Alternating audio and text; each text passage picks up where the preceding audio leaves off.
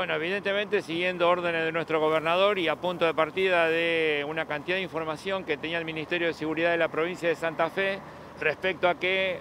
varias personas pensaban venir, sobre todo acá al sur de la provincia, desde la, capital federal y del conurbano bonaerense, a pasar los cuatro días de este fin de semana largo. La provincia largó un eslogan que dice que para Santa Fe el fin de semana largo no es turístico y por lo tanto el Ministerio con todos los puestos de control, más de 26 puestos de control a lo largo de todos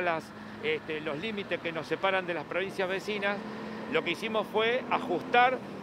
a, la ley el hecho de que las personas que están circulando lo hagan con la documentación que respalda que pueden hacer porque son eh, cuestiones esenciales. Y pusimos especial foco en aquellos este, permisos transitorios, como por ejemplo para visita de familiar enfermo o para cuestiones de salud,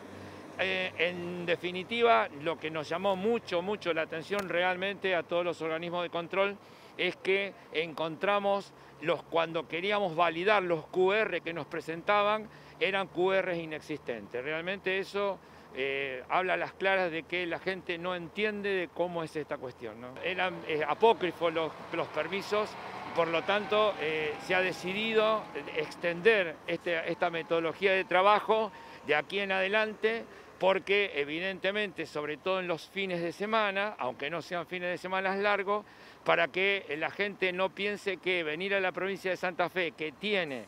por la política desarrollada por el gobierno,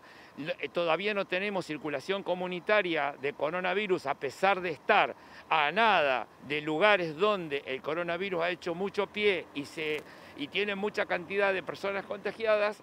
entonces nosotros queremos ajustar justamente estos controles. Nuestros fiscales este, estaban atentos en este fin de semana largo para trabajar en el tema de poner a disposición de la justicia a las personas que transitan